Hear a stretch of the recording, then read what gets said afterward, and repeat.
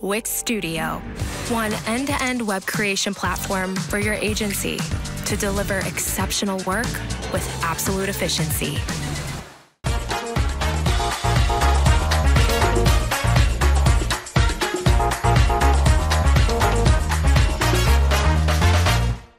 the number one long form writer that helps SEOs outrank competition at the click of a button using real time research and NLP. Start ranking content today with contentatscale.ai. Hello, everyone. Welcome to the copywriting side of the force. Um, today, we are going to talk about a very important fact. So, this is the H is in my name is silent. Thank you. so, um, I want to share you a very uh, a point of view that why do we need to automate content marketing? What do we need to automate content strategy and content creation? But why do we need it? Why do we want it? What do we fantasize it? Actually, this is a um, quote by Dave Brailsford, who is a very popular man in the cycling cycling stuff, cycling sport, you see. And um, what, is, what uh, he says is that um, when you optimize a bit of this, a bit of that, like maybe uh, how much your saddle weight, or maybe uh, is your um, do is your fitting, the bike fitting, is, is it right for you? Uh, all this different stuff um, is helping you or helping you to be a better cyclist. And this is a good example for me because those teams, those cycling teams today who optimize a bit of this, a bit of that, like maybe the structure of the website, maybe a bit of content, maybe our internal linking, etc., are the ones who win the races. SEO copywriting for me is a global issue. It's not only about being the Oscar Award of SEO. We don't care. Uh, it is, uh, you need to be technical because you need to know how the web is working, and you need to be a very good writer as well. Um, that's, that, that, that's obvious. But yes, because yes, a good content could improve your SEO performance, of course. It helps you to get, to, to get a new click-through rate. It helps you to, to, be, to write more attractive, more seductive content. But if you have technical issues, it could be completely useless. You can have very incredible contents uh, which are absolutely uncrawlable. Thank you. Uh, and, uh, but if your content are not indexed at all, you could, you could waste your time by doing content strategy and just let maybe a non-index, non-follow on, a, on a page. That's a shame. So before talking about automating, let's see what is your dream. What is our dream as copywriter? What skill do we need? So I bring you today a bit of French touch, because tonight we'll have a bit of French flair, I hope. Um, so we'll take it harder. So harder, what, what do we want? We want to do bulk analysis, uh, very wide correction, uh, do a lot of research. We, we need to do a lot of research to be accurate, to write and pro, pro create accurate content. And a robot, an AI, is very convenient for that because it has no limit of time. It couldn't get bored or tired if you pay your bills. If you pay, for example, $20 per month for ChatGPT. But if you pay your bills, if you pay your electricity bills, the robot can do some very good stuff for you. And better, you need a, a, strategic point of view. You need your life experience. You need your knowledge, your knowledge of your own market. You can have a, a sense of humor as well, and you can have a sense, uh, and also very useful today, the sensitivity writing. I don't even know if, if sensibility is a word in English. I'm sorry. Is it? Oh, thank you. I'm really So, uh, sensitivity writing, for example, not to write, not to publish something uh, which could be very offensive um, and we need that. How do a robot know if this is offensive or not when us human, it's when it's very difficult for us? And so, um, for example, I, have, I had a client who in the cycling industry again, and um, they would like, uh, they, they wanted to go in the UK market. They didn't now. But in French, uh, there is a slang for a bicycle, which is la petite reine. You see, la petite reine, etc. And in, in English, if you translate it in English, it's the small queen. And I told you, you can't put on your main landing page in the UK the small queen. It's not, it's a wrong idea. And I, I told them this fact because I have my life experience. And having this life experience is very important because even if you are writing content for remote control for automatic, automatic gates, for example, actually you need something real in your content because if it's not real, if, there, if, if you don't have maybe a pinch of real, people they don't care actually. They don't care. You have to be to make them care about what you are publishing. And of course doing something faster. This is maybe the the promise that uh, AI is doing is giving us that okay I want to do it everything faster but what do we want to do faster? Just think of it. Maybe conversion to another format maybe creation of a, a large uh, amount of draft version for some PLP, project landing pages, and anything that you, you are considering to click too many times could be automated. And of course, stronger. But stronger, what is to be strong for a robot, for us? It's maybe having a very wide um, vocabulary, knowing a lot of a lot of different words, um, never get tired, never bored, and theoretic, theoretically, in theory, having no social or cognitive bias. In theory, the robot, robot is just a robot.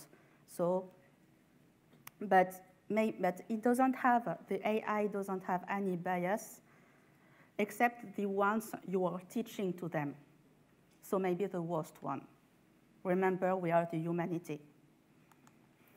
So to conclude this part, um, SEO copywriting is a hard skill for me that is made of a strong digital culture. You need to know how a website works. You need to know how a computer works. You need to know how to put how this, uh, why is there a hard drive, or what is, uh, you, we are talking a lot about, for example, um, how fast a website is charging, is loading but how does it work actually? How can you uh, provide some um, recommendation if you don't know how it works?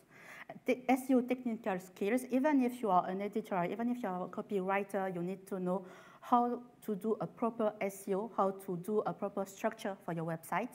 And this, is, this could be a bit, a bit strange for you, but laziness. To be lazy today in 2023 at the rise of the AI, laziness is the new smart. Because when you are a bit lazy, you can identify what you could automate, what task you could automate. But a robot is, a very, is very, very motivated, but it's quite dumb. I'm sorry. I'm sorry for you.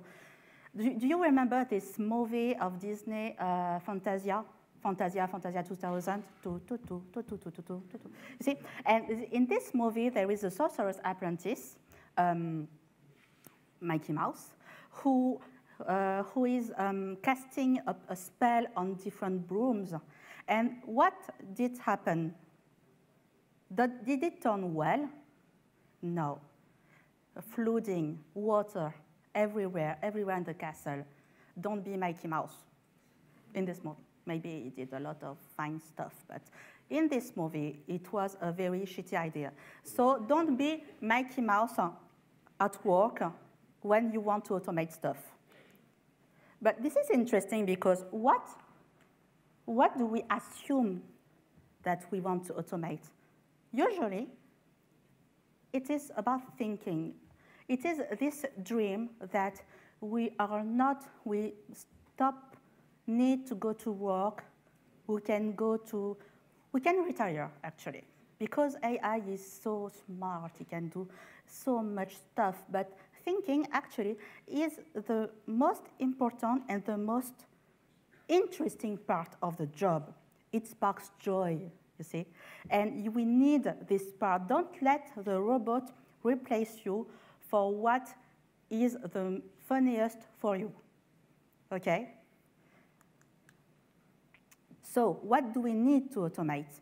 We need to automate actually boring stuff. I really like this book uh, that I've never read actually, but I like the, the cover. Uh, I work in marketing, I'm sorry. I like the cover, very efficient marketing. And uh, the cover is a robot who is using a long, long, uh, um, thank you, this word. and um, it's, it's about uh, automating boring stuff with Python. And I really like this, this point of view. So, um, for example, curating new, new stuff, uh, choosing what seems to be relevant data for you uh, could be done by a robot, or checking grammar, etc. Anything um, you could go, go, do wrong if you're too tired, for example. If you're, if you're very tired, this one task could be wrong because you are tired, maybe it could be automated. Automated, automated. okay. Um, repetitive task, if you click too many times, this could be automated, maybe about uh, uh, five clicks is enough to do, okay, I don't like this stuff, I want to automate it. And this is very important for people here who are copywriters, who are writers, editorial people. I love you.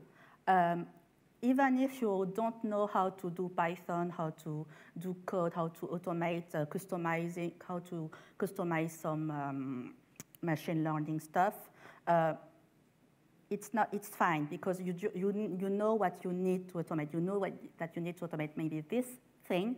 So what you need to do is just writing something familiar, writing specification for a developer. That's it. So. But in the world of copywriting, how do you automate content that demands a lot of expertise, a great expertise? In theory, this is something very obsolete today, but uh, there is a theory about the fact that you would need 10,000 hours to become an expert in any field. Actually, this is just to say that you need to work a lot. Sorry, you need to work again. And for example, here you need to, a robot could help us to do it in less than 10,000 hours, maybe to, when, uh, uh, to help you to aggregate a lot of different resources to, you could read, uh, and this is very important to get a bit of expertise because you, even if you are writing something very, um, something great, if, even if you are um, a very uh, great expert in your field, you need to be a very good writer as well. This is the copywriting side because you still can be boring. For example, I can know a lot of stuff about how to uh, make a hamster live um, uh, back to life, make it back to life with a microwave oven. Yes, this is a true fact from Brighton. And uh, it's about the man who invented microwave, he did that and, uh, and be bo bo uh, absolutely boring when I talk, you see. So boring content are useless. Above all, do not lie to your audience because you can't fool anyone about that. So a bit of case studies. Uh, this is a tool that I really like. I use it almost every day. It's called uh, yourtext.guru. Uh, it's a French tool. Yeah. And um, and in this tool, um, it, it, does uh, like reverse engineering of uh, uh, by analyzing what is on the first page of the search engine uh, result page. And uh, on the first page, and it says, okay, now, today, at this point, uh, Google like those content uh, this is a summary what uh, you can find on it. And then you can just uh, use this, uh, this fact, but remember that what you need is not to do this, this graph, uh, this, you want to do better because you want better content. Um, I know this is a bit tricky to talk about uh, FAQ, F FAQ how to, etc. today, but don't, don't wait for different features or on, um, on the result page to do your work. Don't, don't wait for those features to uh, uh, make good um, content that are well structured, that are very attractive, that are very easy to read and to, uh, and to crawl, actually. Here I use the very simple uh, things. For example, here I, I use the, um, the, the name of uh, different uh, departments uh, in France, which is different regions, different. And uh, just, I, I, had, I had a list and I wanted a, table. So I asked my slave ChatGPT to do it. Then uh, you have the right source. You get a very, very good source, sorry, uh, for because you are studying a, um, a field and the, oh, do I need to read all this book, uh, uh, this, this, whole book, is it useful for me?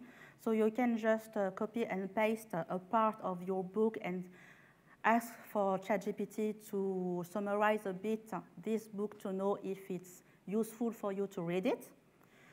That was a very long sentence. Oh, um, you've got an awesome article, transform it into FAQ. For example, you have an article you, you already uh, have written. Um, and um, you can say, okay, this is a good article that I wrote. That I wrote. Uh, can you transform it into different question and write the answers for me?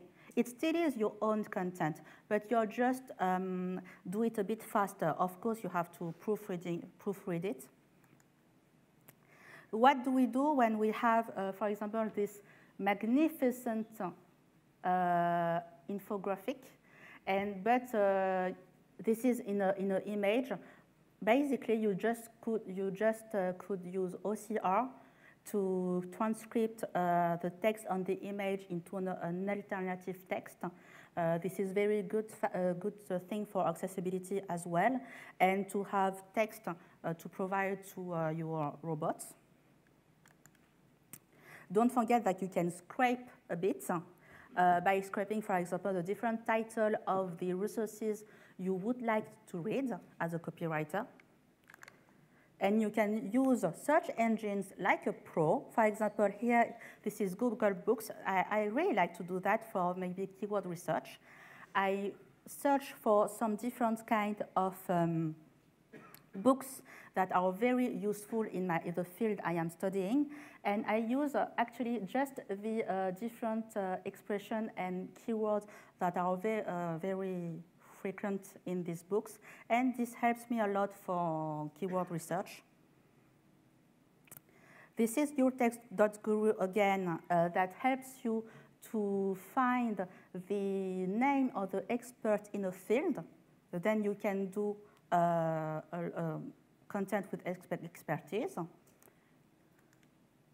You can also use the API of the tool that you bought uh, to prioritize because even if you are automating something, if, if, if this is not a priority, uh, this could be useful, you are wasting your time. So don't forget to focus on your priorities. And here I use a podca uh, podcast software, for example, to do interviews.